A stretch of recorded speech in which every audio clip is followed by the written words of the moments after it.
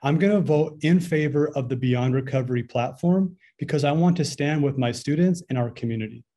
Hi, everyone. My name is Ronnie Smith, and my pronouns are he and they. And I'm a second and third grade teacher at Quincy Jones Elementary School in South Central LA.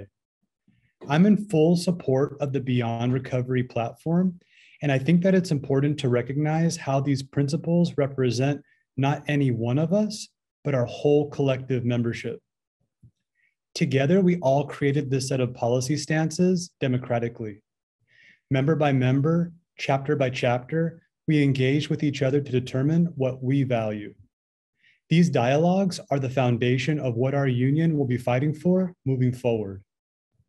Our powerful ideas envisioning fully resourced schools that respond to the needs of students, families, and educators can become a reality with the full support of our membership.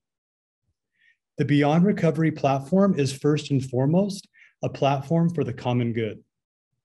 We are demanding support for students' mental and emotional wellness. We're advocating for lower class size and updated technology for all students and all staff. We're fighting for curricular autonomy. The platform pushes our district to provide opportunities to implement ethnic studies and culturally re relevant teaching and learning experiences for our students. I think that we have to remember that the learning conditions of our students at school are our working conditions as educators.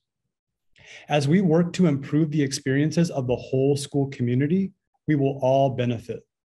I'm going to vote in favor of the Beyond Recovery platform because I want to stand with my students and our community.